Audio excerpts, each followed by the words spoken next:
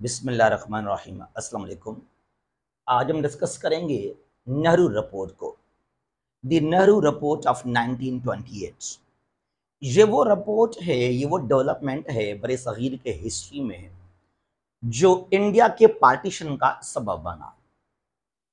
इसको हम डिस्कस करेंगे कि वो कैसे सबब बना। लेकिन इस लेक्चर को शुरू करने से पहले मैं आपको इन्फॉर्म करना चाहता हूँ कि हम ट्वेंटी सेकेंड अगस्त को शुरू कर रहे हैं अपना second batch for interview preparation जो टीओ और एमओ के अभी हो रहे हैं इंटरव्यूज़ उनके हवाले से। और हमने पहला अपना बेच मुकम्मल कर लिया। और जो हमारे फ्रेंड्स हमारे भाई, हमारे बहन हैं, जिन्होंने अभी रिटर्न टेस्ट क्वालिफाई किया है सब्जेक्ट स्पेशलिस्ट का, वो भी यहाँ पर हमें ज्वाइन कर सकते हैं। जी, दी नेहरू रिपोर्ट 1928 में ये रिपोर्ट दिया गया। ज़रा इसको समझते हैं गौर से। पहले बात करते हैं इसके बैकग्राउंड के बारे में। वजह क्या था? इसका बैकग्राउंड क्या है? कौन से डेवलपमेंट्स हुए थे बिफोर नेहरू रिपोर्ट एक्चुअली 1919 में इन 1919 में the government of Indian act also known as the Montagu Chelmsford reforms 1919 कुछ आईनी लिहाज से रिफॉर्म्स किए गए थे introduced by the then viceroy lord Chelmsford and the secretary of state for India Edwin Montagu तो इन दोनों का नाम आ गया मॉन्टेग कैलेम्सफोर्ड रिफॉर्म्स 1919 में। यहाँ बहुत सारी चीज़ें हैं जिनको डिस्कस किया गया है, और एक पॉइंट यहाँ पर यह भी था कि टेन ईयर्स में हर दस साल के बाद ब्रिटिश से, यानी कि इंग्लैंड से, ब्रिटिश से एक कमीशन आएगी इंडिया के अंदर मॉनिटर करने के लिए कि क्या प्रॉपरली मॉन्टे कैलम्सफोर्ड रिफॉर्म्स के ऊपर अमल हो रहा या नहीं हो रहा? या is there any needs for further reforms about constitution आईनी लिहाज से, लॉ के हवाले से क्या हमें कुछ और भी रिफॉर्म्स इंडिया में इंट्रोड्यूस करने चाहिए कि नहीं करने चाहिए? तो इसके हवाले से, फिर यहाँ पर हुआ क्या?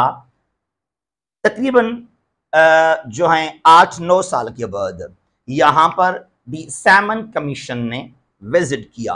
यानी कि ब्रिटिश ने भेजा एक कमीशन इंडिया की तरफ़। उस कमीशन में ओवरऑल थे सेवन पीपल सारे गोरे थे, वो अंग्रेज़ थे। 1927 में कमीशन बना और इंडिया में आया 1928 में।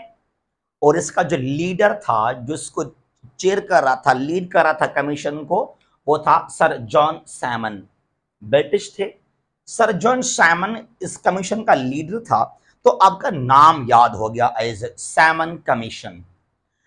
अब जब ये कमीशन ने किया विज़िट इंडिया का, मुख्तलिफ़ इंडिया के जो एरियाज़ हैं पार्ट्स हैं, उनको विज़िट किया कि क्या हो रहा है, कहाँ पर नीड है, नहीं है, कुछ आइनी रिफॉर्म्स के हवाले से। लेकिन यहाँ पर जो तमाम इंडिया के पॉलिटिकल पार्टीज़ थे, उन्होंने एक डिमांड किया सैमन कमीशन से कि अपने कमीशन के अंदर आप इंडिया के लोग भी लाजमी शामिल करें।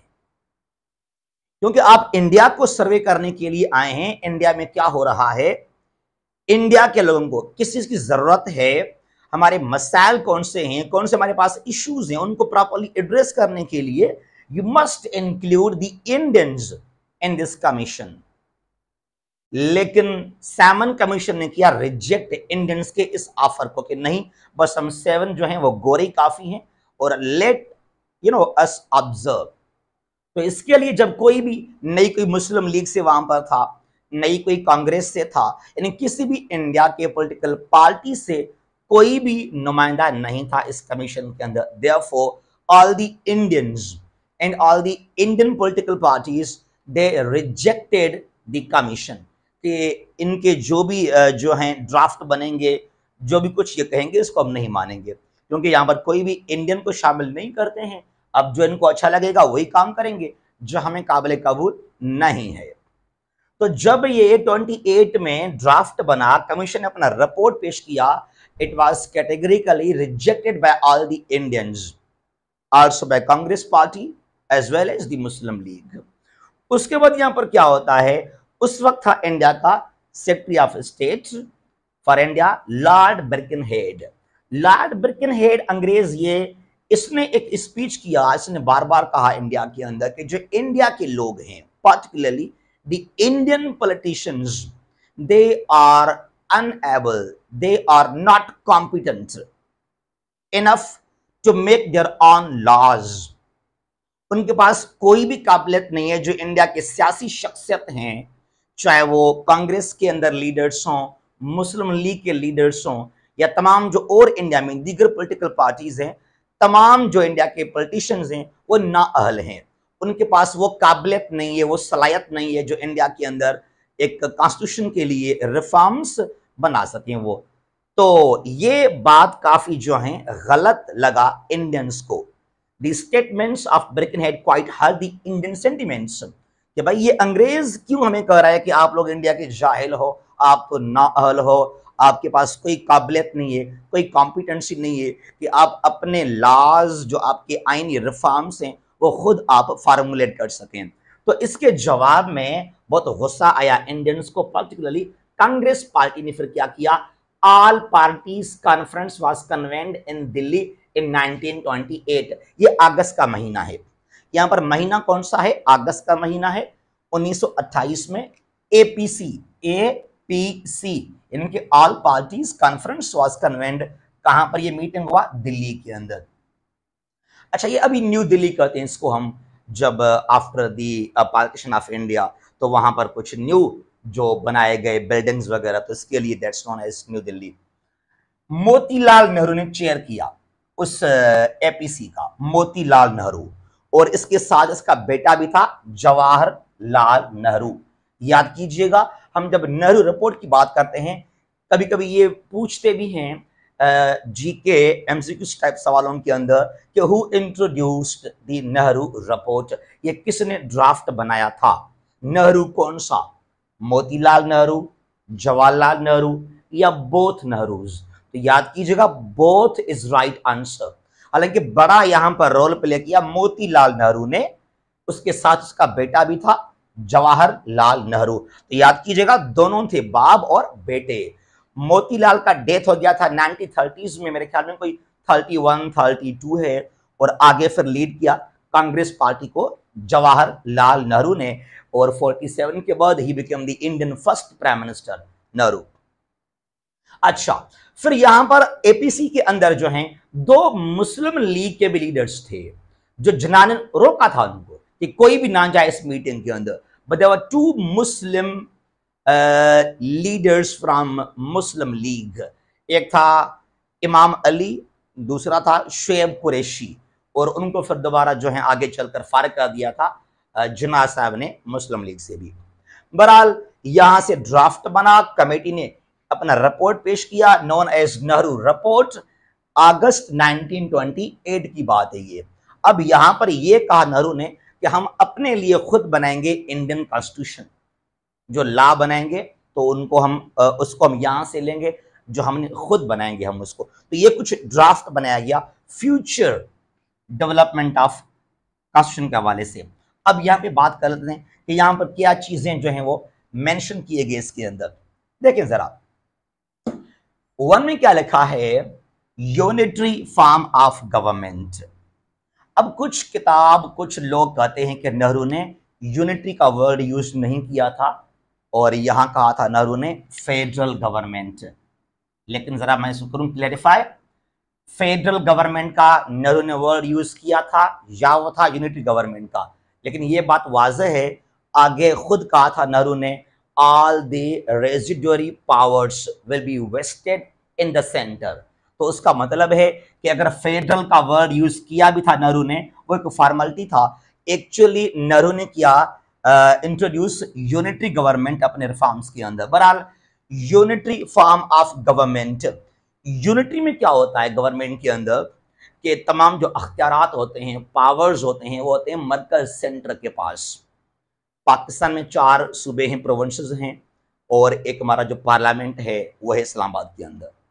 वहाँ दो हाउसेस हैं upper house senate lower house common assembly अच्छा अब उसको हम कहते हैं सेंटर अब अगर पाकिस्तान में आप करें इंट्रोड्यूस यूनिटरी गवर्नमेंट तो जो यूनिट्स हैं, जो सूबे हैं, उनके पास कोई भी अख्तियार नहीं होगा। जैसे सेंटर जैसे मरकज चाहे, जो इस्लामाबाद चाहे, वही होगा तमाम सूबों के अंदर भी। और इसमें यह होता है कि जिसकी मेजॉरिटी है पार्लियामेंट के अंदर, उनको ज़्यादा फ़ायदा होता है। जो कुछ माइनॉरिटीज़ में हैं उनको नुकसान हो रहा है। मसलन कैसे आप यूँ समझ लें अगर पाकिस्तान में हम फॉलो करें यूनिटरी गवर्नमेंट को तो जो पंजाब है उसको बड़ा फ़ायदा चले पहुँचेगा। बजाय कि सिंध है के पी के है बलोचिस्तान है these three will be on the mercy of Punjab then तो बहरहाल जिना ने सोचा कि भाई इंडिया के अंदर तो ओ, आ, सोचा ये नेहरू ने Motilal Nehru Jawaharlal Nehru they both thought कि इंडिया के अंदर हिंदूज मेजॉरिटी में हैं। अब मुसलमान हों या कुछ और कम्युनिटीज़ हैं, वो हमारे अंडर में रहेंगे। तो इंडिया में हम फॉलो करेंगे यूनिटरी गवर्नमेंट क्योंकि पावर में हमेशा हिंदू आएँगे सेंटर में इसके लिए। और ये जो है federal government the powers are decentralised और यहाँ पर पावर्स हैं सेंट्रलाइज्ड यहाँ पर क्या होता है कि जो यूनिट्स हैं प्रोविंसेस हैं they are given residuary powers सूबों के पास अख्तियार होते हैं पावर्स होते हैं। और सूबे जो हैं, जो प्रोविंसेस हैं, वो अपने अपने प्रोविंशियल असेंबलीज के अंदर कोई एक्ट कोई लॉ कोई रेजोल्यूशन पास कर सकते हैं अपने सूबे के अंदर। तो पाकिस्तान में आजकल क्या है? देर इज़ फेडरल गवर्नमेंट और जो प्रोविंसेस हैं, वो काफ़ी हद तक खुद मुख्तार है पाकिस्तान के अंदर। तो ये नेहरू का था पहला point unitary form of government future में इंडिया में इसको हम फॉलो करेंगे। Number two joint electorate shall be introduced in India. अब ये ज्वाइंट एक होता है सेपरेट रिमेंबर दुनिया में जब इलेक्शंस होते हैं तो या तो वहाँ पर होगा ज्वाइंट इलेक्टोरेट या वहाँ पर होगा सेपरेट इलेक्टोरेट अब ये नेहरू ने कहा कि इंडिया में हम करेंगे फॉलो ज्वाइंट इलेक्टोरेट को नॉट सेपरेट इसमें क्या होता है? इवन पाकिस्तान में भी जो इलेक्शंस होते हैं पाकिस्तान के अंदर we are following in Pakistan joint electorate हमारे पास यहाँ भी सेपरेट को फॉलो हम नहीं कर रहे हैं।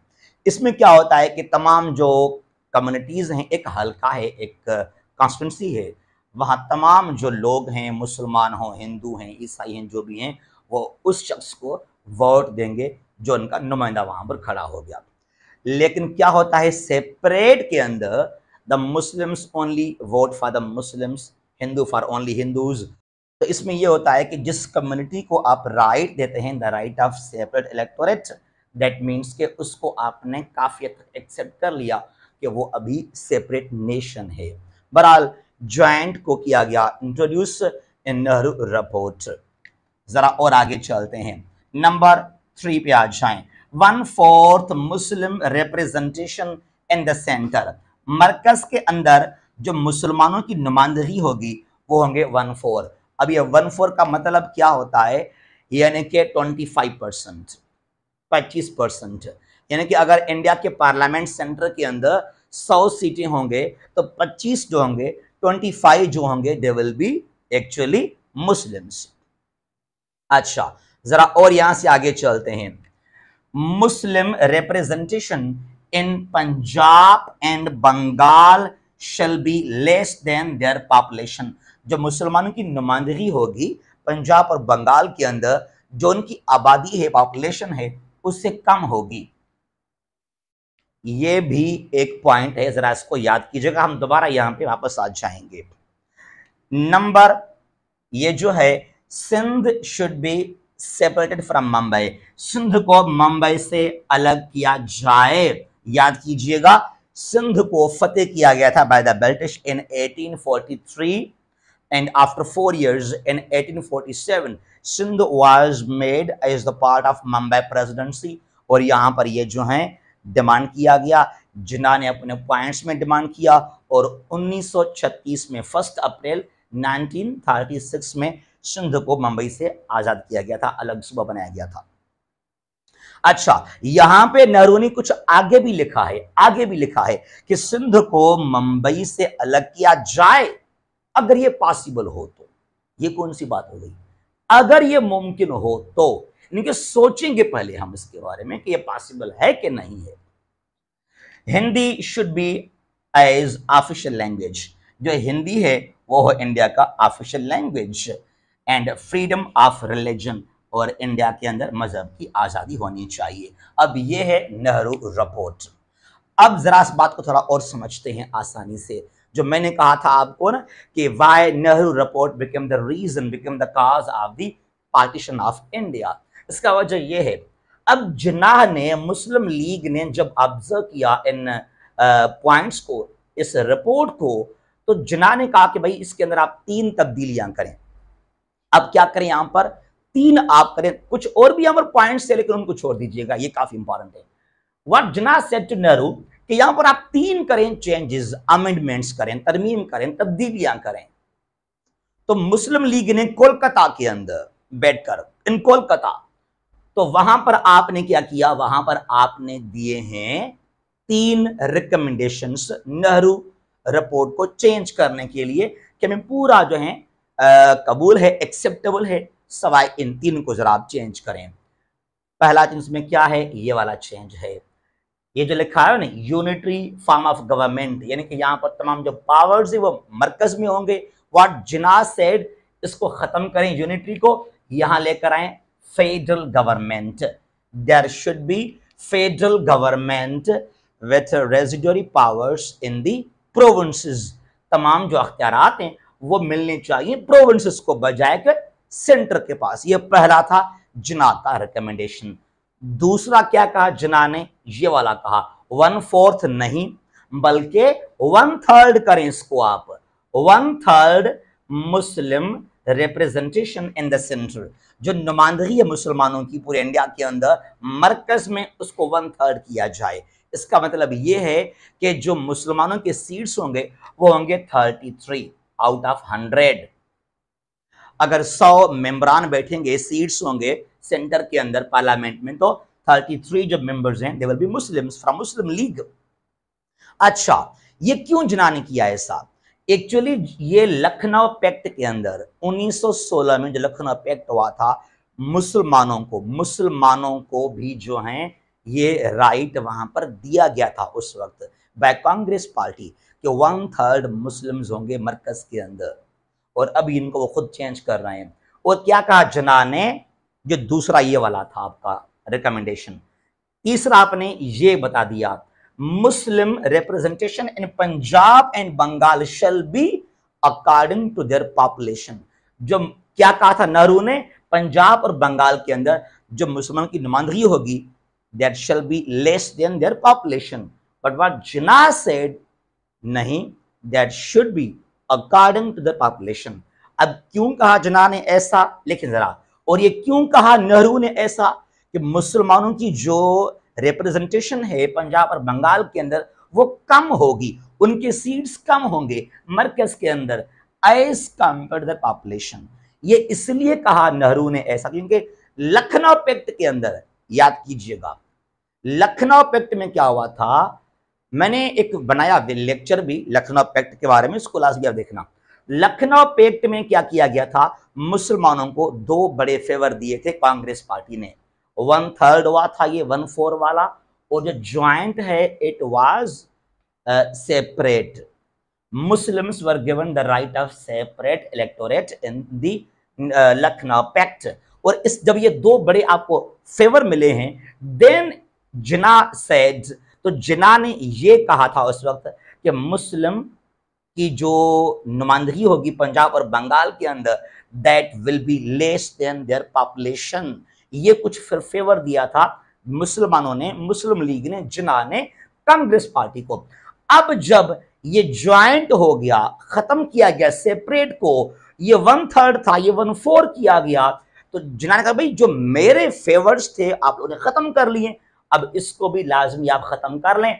तो जब मुसलमानों की नुमाइंदगी है, पंजाब और बंगाल के अंदर that should be on the basis of their population तो ये तीन जो रिकमेंडेशन की ये बनाए जिना ने इन नेहरू रिपोर्ट के, इनको अगर आप तब्दील करेंगे चेंज करेंगे तो फिर हम इस पर अमल करेंगे, इसको फिर हम करेंगे एक्सेप्ट लेकिन हुआ क्या? कांग्रेस ने बनाया कमेटी और अमीडिएटली किया रिजेक्ट जिना के प्रपोजल्स को। कि कोई भी तब्दीली हम नहीं चाहते हैं। हमें बस यही हमारे लिए रिपोर्ट परफेक्ट है और ये बनेगा हमारा फ्यूचर में आइन उसके बाद क्या हुआ? उसके बाद कहा जना ने कि आप हमारे रास्ते अलग कर रहे हो और फिर जना ने गुस्से में आकर अपने फोर्टीन पॉइंट्स दिए थे।